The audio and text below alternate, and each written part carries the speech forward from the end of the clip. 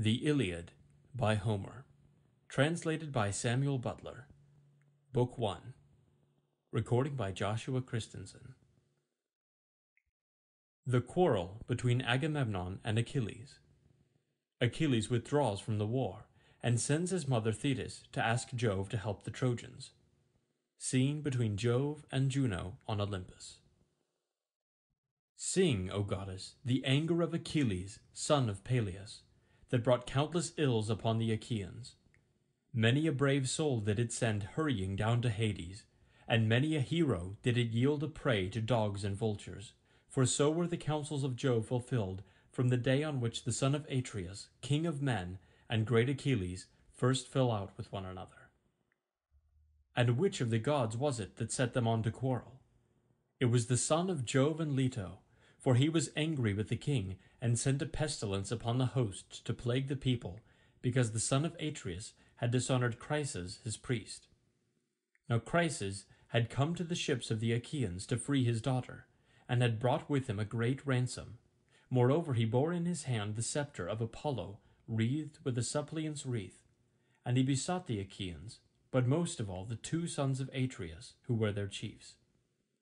Sons of Atreus, he cried, and all other Achaeans, may the gods who dwell in Olympus grant you to sack the city of Priam, and to reach your homes in safety, but free my daughter, and accept a ransom for her, in reverence to Apollo, son of Jove. On this, the rest of the Achaeans with one voice were for respecting the priest, and taking the ransom that he offered. But not so Agamemnon, who spoke fiercely to him, and sent him roughly away. Old man, said he, let me not find you tarrying about our ships, nor yet coming hereafter.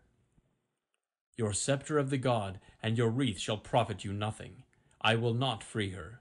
She shall grow old in my house at Argos, far from her own home, busying herself with her loom and visiting my couch. So go, and do not provoke me, or it shall be the worse for you. The old man feared him and obeyed. Not a word he spoke, but went by the shore of the sounding sea, and prayed apart to King Apollo, whom lovely Leto had borne. Hear me, he cried, O god of the silver bow, that protectest Chryse and holy Cilla, and rulest Tenedos with thy might. Hear me, O thou of Sminthe. If I have ever decked your temple with garlands, or burned your thigh bones in fat of bulls or goats, grant my prayer, and let your arrows avenge these my tears upon the Danaans.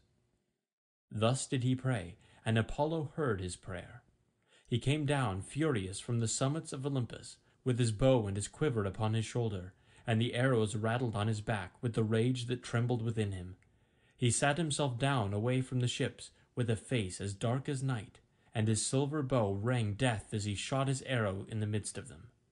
First he smote their mules and their hounds, but presently he aimed his shafts at the people themselves, and all day long the pyres of the dead were burning. For nine whole days he shot his arrows among the people, but upon the tenth day Achilles called them in assembly, moved thereto by Juno, who saw the Achaeans in their death throes and had compassion upon them. Then, when they were got together, he rose and spoke among them. Son of Atreus, said he, I deem that we should now turn roving home, if we would escape destruction, for we are being cut down by war and pestilence at once. Let us ask some priest or prophet, or some reader of dreams, for dreams too are of Jove, who can tell us why Phoebus Apollo is so angry, and say whether it is for some vow that we have broken, or hecatomb that we have not offered, and whether he will accept the savour of lambs and goats without blemish, so as to take away the plague from us. With these words he sat down, and Calchas, son of Thestor, wisest of augurs, who knew things past, present, and to come, rose to speak. He it was who had guided the Achaeans with their fleet to Ilius, through the prophesyings of which Phoebus Apollo had inspired him. With all sincerity and goodwill he addressed them thus. Achilles, loved of heaven, you bid me tell you about the anger of King Apollo. I will therefore do so, but consider first and swear that you will stand by me heartily in word and deed, for I know that I shall offend one who rules the Argives with might, to whom all the Achaeans are in subjection. A plain man cannot stand against the anger of a king, who if he swallow his displeasure now, will yet nurse revenge till he has wreaked it. Consider, therefore, whether or no you will protect me. And Achilles answered, Fear not, but speak as it is borne upon you from heaven. For by Apollo, Calchas, to whom you pray, and whose oracles you reveal to us, not a Danaan at our ships shall lay his hand upon you, while I yet live to look upon the face of the earth. No, not though you name Agamemnon himself, who is by far the foremost of the Achaeans. Thereon the seer spoke boldly. The god, he said, is angry neither about vow nor hecatomb, but for his priest's sake, whom Agamemnon has dishonoured, in that he would not free his daughter, nor take a ransom for her. Therefore he has sent these evils upon us, and will yet send others. He will not deliver the Danaans from this pestilence till Agamemnon has restored the girl without fee or ransom to her father, and has sent a holy hecatomb to Chryse. Thus we may perhaps appease him. With these words he sat down, and Agamemnon rose in anger. His heart was black with rage, and his eyes flashed fire as he scowled on Calchas and said, Seer of evil, you never yet prophesied smooth things concerning me, but have ever loved to foretell that which was evil. You have brought me neither comfort nor performance, and now you come seeing among the Danaans, and saying that Apollo has plagued us because I would not take a ransom for this girl, the daughter of Chryses. I have set my heart on keeping her in my own house, for I love her better even than my own wife Clytemnestra, whose peer she is alike in form and feature, in understanding and accomplishments. Still, I will give her up if I must, for I would have the people live, not die. But you must find me a prize instead, or I alone among the Argives shall be without one. This is not well, for you behold, all of you, that my prize is to go elsewhither. And Achilles answered, Most noble son of Atreus, covetous beyond all mankind, how shall the Achaeans find you another prize? We have no common store from which to take one. Those we took from the cities have been awarded. We cannot disallow the awards that have been made already. Give this girl, therefore, to the god, and if ever Jove grants us to sack the city of Troy, we will requite you three and fourfold. Then Agamemnon said, Achilles, Valiant though you be, you shall not thus outwit me. You shall not overreach, and you shall not persuade me. Are you to keep your own prize, while I sit tamely under my loss, and give up the girl at your bidding? Let the Achaeans find me a prize in fair exchange to my liking, or I will come and take your own, or that of Ajax or of Ulysses, and he to whomsoever I may come shall rue my coming. But of this we will take thought hereafter. For the present, let us draw a ship into the sea, and find a crew for her expressly. Let us put a hecatomb on board, and let us send Chryseis also.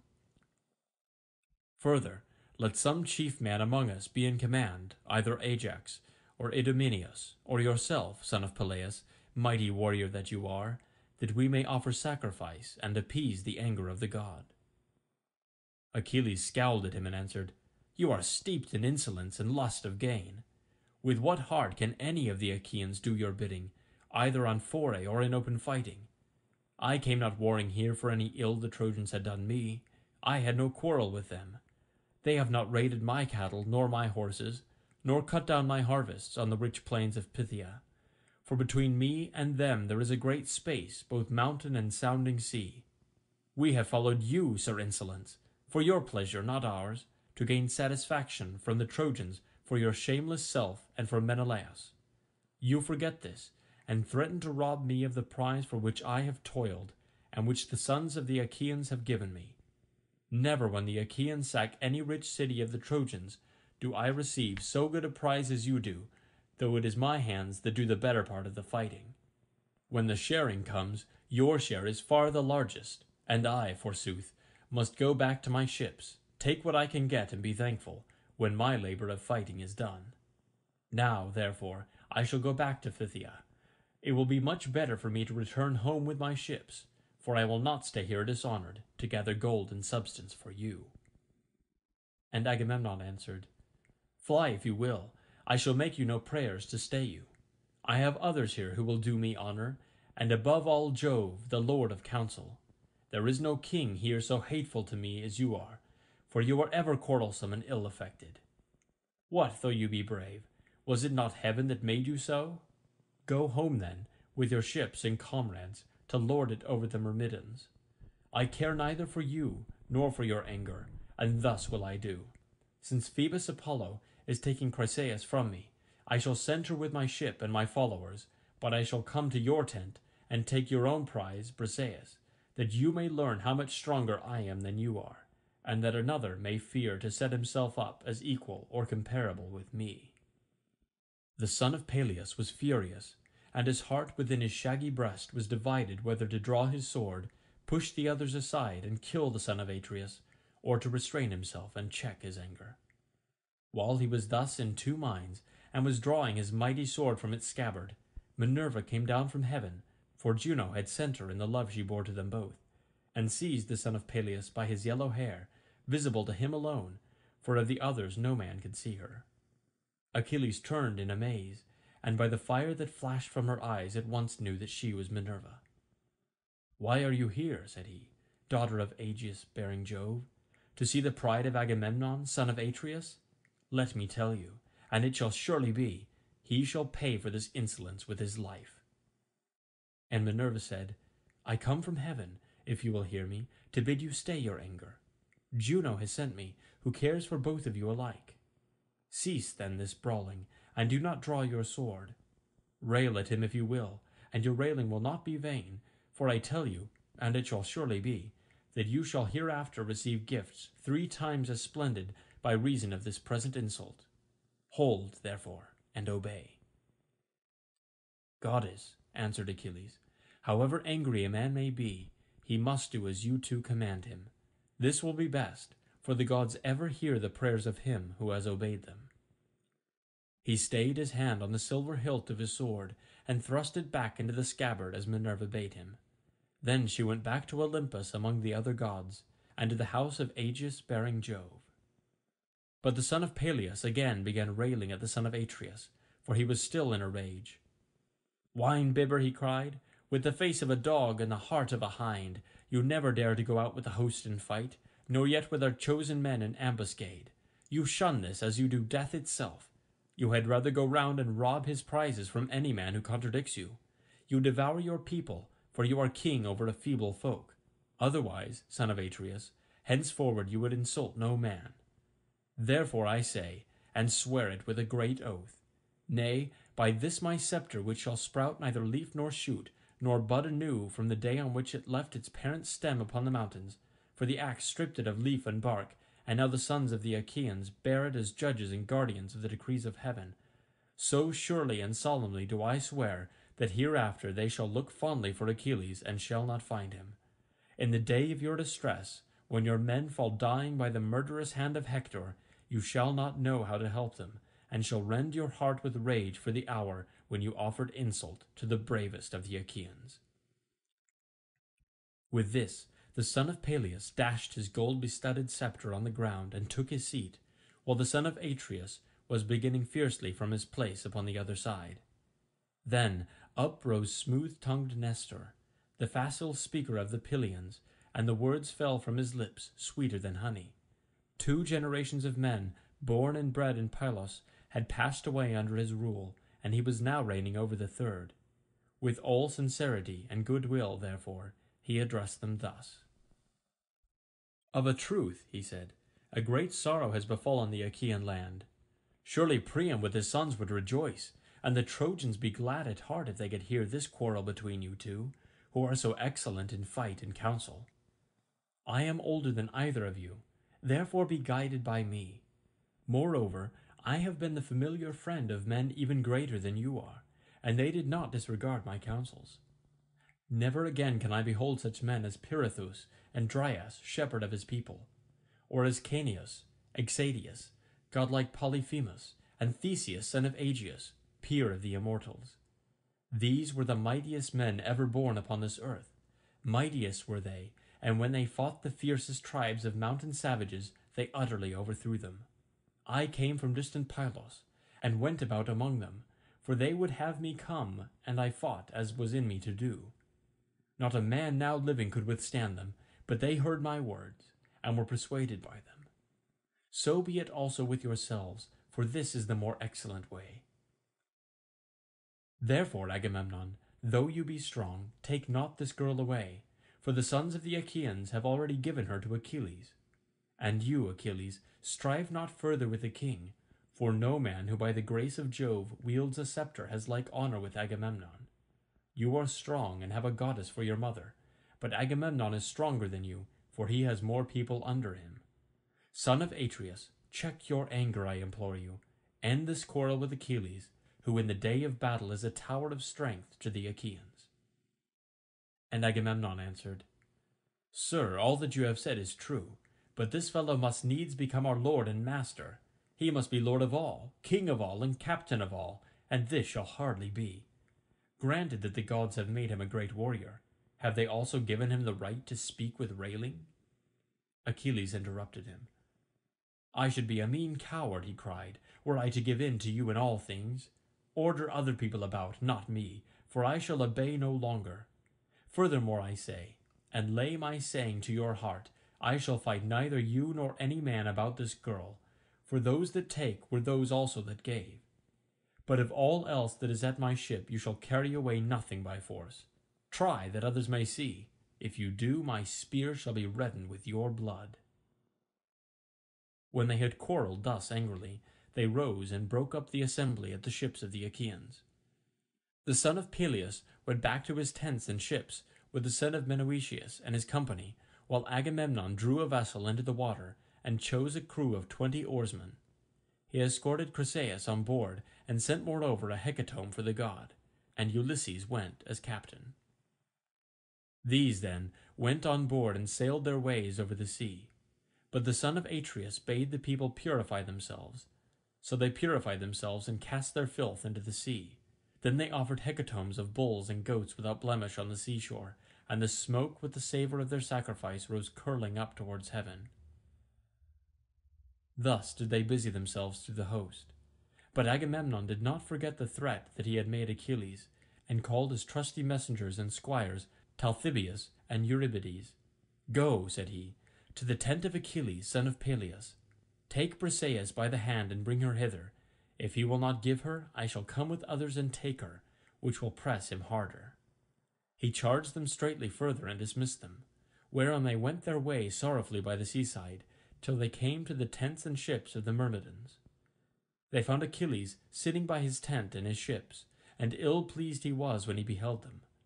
They stood fearfully and reverently before him, and never a word did they speak, but he knew them and said, Welcome, heralds, messengers of gods and men. Draw near. My quarrel is not with you, but with Agamemnon, who has sent you for the girl Briseis. Therefore, Patroclus, bring her and give her to them, but let them be witnesses by the blessed gods, by mortal men, and by the fierceness of Agamemnon's anger, that if ever again there be need of me to save the people from ruin, they shall seek and they shall not find. Agamemnon is mad with rage, and knows not how to look before and after that the Achaeans may fight by their ships in safety. Patroclus did as his dear comrade had bidden him. He brought Briseis from the tent, and gave her over to the heralds, who took her with them to the ships of the Achaeans, and the woman was loth to go. Then Achilles went all alone by the side of the hoar sea, weeping and looking out upon the boundless waste of waters. He raised his hands in prayer to his immortal mother. Mother, he cried, you bore me doomed to live but for a little season. Surely Jove, who thunders from Olympus, might have made that little glorious. It is not so. Agamemnon, son of Atreus, has done me dishonour, and has robbed me of my prize by force. As he spoke he wept aloud, and his mother heard him where she was sitting in the depths of the sea, hard by the old man her father. Forthwith she rose as it were a grey mist out of the waves, sat down before him as he stood weeping, caressed him with her hand, and said, My son, why are you weeping? What is it that grieves you? Keep it not from me, but tell me, that we may know it together. Achilles drew a deep sigh and said, You know it. Why tell you what you know well already? We went to Thebe, the strong city of Eetion, sacked it, and brought hither the spoil. The sons of the Achaeans shared it duly among themselves, and chose lovely Chryseis as the meed of Agamemnon. But Chryses, priest of Apollo, came to the ships of the Achaeans to free his daughter, and brought with him a great ransom. Moreover, he bore in his hand the sceptre of Apollo, wreathed with a suppliant's wreath, And he besought the Achaeans, but most of all the two sons of Atreus, who were their chiefs. On this, the rest of the Achaeans, with one voice, were for respecting the priest and taking the ransom that he offered. But not so Agamemnon, who spoke fiercely to him and sent him roughly away. So he went back in anger, and Apollo, who loved him dearly, heard his prayer. Then the god sent a deadly dart upon the Argives, and the people died thick on one another, for the arrows went every whither among the wide host of the Achaeans. At last a seer, in the fullness of his knowledge, declared to us the oracles of Apollo, and I was myself first to say that we should appease him. Whereon the son of Atreus rose in anger, and threatened that which he has since done. The Achaeans are now taking the girl in a ship to Chryse, and sending gifts of sacrifice to the god. But the heralds have just taken from my tent the daughter of Briseus, whom the Achaeans had awarded to myself. Help your brave son, therefore, if you are able. Go to Olympus, and if you have ever done him service in word or deed, implore the aid of Jove. Ofttimes in my father's house have I heard you glory in that you alone of the immortals saved the son of Saturn from ruin, when the others, with Juno, Neptune, and Pallas, Minerva, would have put him in bonds. It was you, goddess, who delivered him by calling to Olympus the hundred-handed monster whom gods call Briareus, but men Aegaeon, for he is stronger even than his father. When therefore he took his seat all glorious beside the son of Saturn, the other gods were afraid and did not bind him. Go then to him, remind him of all this, clasp his knees and bid him give succour to the Trojans. Let the Achaeans be hemmed in at the sterns of their ships, and perish on the seashore, that they may reap what joy they may of their king, and that Agamemnon may rue his blindness in offering insult to the foremost of the Achaeans. Thetis wept and answered, My son, Woe is me that I should have borne or suckled you. Would indeed that you had lived your span free from all sorrow at your ships, for it is all too brief. Alas, that you should be at once short of life and long of sorrow above your peers. Woe, therefore, was the hour in which I bore you.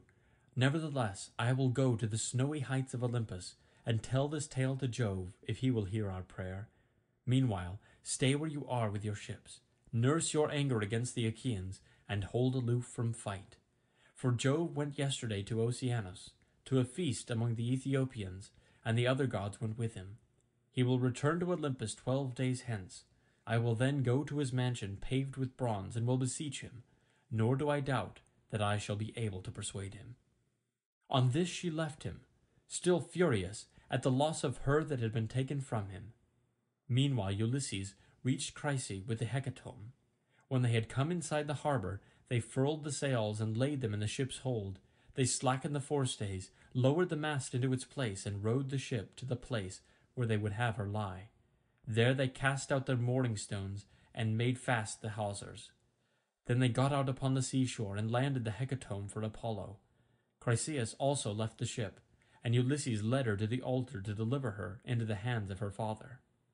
Chryses, said he, King Agamemnon has sent me to bring you back your child, and to offer sacrifice to Apollo on behalf of the Danaans, that we may propitiate the god who has now brought sorrow upon the Argives. So saying, he gave the girl over to her father, who received her gladly, and they ranged the holy hecatomb all orderly round the altar of the god. They washed their hands and took up the barley meal to sprinkle over their victims, while Chryses lifted up his hands and prayed aloud on their behalf. Hear me, he cried, O God of the silver bow, that protectest Chryse and holy Cilla, and rulest Tenedos with thy might, even as thou didst hear me aforetime when I prayed, and didst press hardly upon the Achaeans, so hear me yet again, and stay this fearful pestilence from the Danaans. Thus did he pray, and Apollo heard his prayer. When they had done praying and sprinkling the barley meal, they drew back the heads of the victims and killed and flayed them. They cut out the thigh bones, wrapped them round in two layers of fat, set some pieces of raw meat on the top of them, and then Chryses laid them on the wood fire and poured wine over them, while the young men stood near him with five-pronged spits in their hands. When the thigh bones were burnt, and they had tasted the inward meats, they cut the rest up small, put the pieces upon the spits, roasted them till they were done, and drew them off. Then when they had finished their work, and the feast was ready, they ate it, and every man had his full share, so that all were satisfied. As soon as they had had enough to eat and drink, pages filled the mixing bowl with wine and water and handed it round, after giving every man his drink offering. Thus, all day long, the young men worshipped the god with song, hymning him and chanting the joyous paean, and the god took pleasure in their voices. But when the sun went down, and it came on dark, they laid themselves down to sleep by the stern cables of the ship, and when the child of morning, rosy-fingered dawn, appeared, they again set sail for the host of the Achaeans. Apollo sent them a fair wind, so they raised their mast and hoisted their white sails aloft. As the sail bellied with the wind, the ship flew through the deep blue water, and the foam hissed against her bows as she sped onward. When they reached the wide-stretching host of the Achaeans, they drew the vessel ashore, high and dry upon the sands, set her strong props beneath her, and went their ways to their own tents and ships. But Achilles abode at his ships, and nursed his anger. He went not to the honourable assembly, and sallied not forth to fight, but gnawed at his own heart, pining for battle and the war cry. Now, after twelve days, the immortal gods came back in a body to Olympus, and Jove led the way. Thetis was not unmindful of the charge her son had laid upon her, so she rose from under the sea, and went through great heaven with early morning to Olympus, where she found the mighty son of Saturn sitting all alone upon its topmost ridges. She sat herself down before him, and with her left hand seized his knees, while with her right she caught him under the chin and besought him, saying, Father Jove, if I ever did you service in word or deed among the immortals, hear my prayer, and do honour to my son, whose life is to be cut short so early. King Agamemnon has dishonoured him by taking his prize and keeping her. Honour him then yourself, Olympian lord of counsel, and grant victory to the Trojans, till the Achaeans give my son his due, and load him with riches and requital. Jove sat for a while silent, and without word, but Thetis still kept firm hold of his knees, and besought him a second time. Incline your head, said she, and promise me surely, or else deny me, for you have nothing to fear, that I may learn how greatly you disdain me. At this Jove was much troubled and answered, I shall have trouble if you set me quarrelling with Juno, for she will provoke me with her taunting speeches. Even now she is always railing at me before the other gods and accusing me of giving aid to the Trojans. Go back now, lest she should find out. I will consider the matter, and will bring it about as you wish. See, I incline my head that you may believe me. This is the most solemn promise that I can give to any god. I never recall my word, or deceive, or fail to do what I say, when I have nodded my head. As he spoke, the son of Saturn bowed his dark brows, and the ambrosial locks swayed on his immortal head till vast Olympus reeled. When the pair had thus laid their plans, they parted, Jove to his house, while the goddess quitted the splendour of Olympus and plunged into the depths of the sea. The gods rose from their seats before the coming of their sire. Not one of them dared to remain sitting, but all stood up as he came among them. There, then, he took his seat. But Juno, when she saw him, knew that he and the old merman's daughter, silver-footed Thetis, had been hatching mischief, so she at once began to upbraid him. Trickster, she cried, which of the gods have you been taking into your counsels now? You are always settling matters in secret behind my back, and have never yet told me, if you could help it, one word of your intentions. Juno, replied the sire of gods and men, you must not expect to be informed of all my counsels. You are my wife, but you would find it hard to understand them. When it is proper for you to hear, there is no one, god or man, who will be told sooner. But when I mean to keep a matter to myself, you must not pry nor ask questions.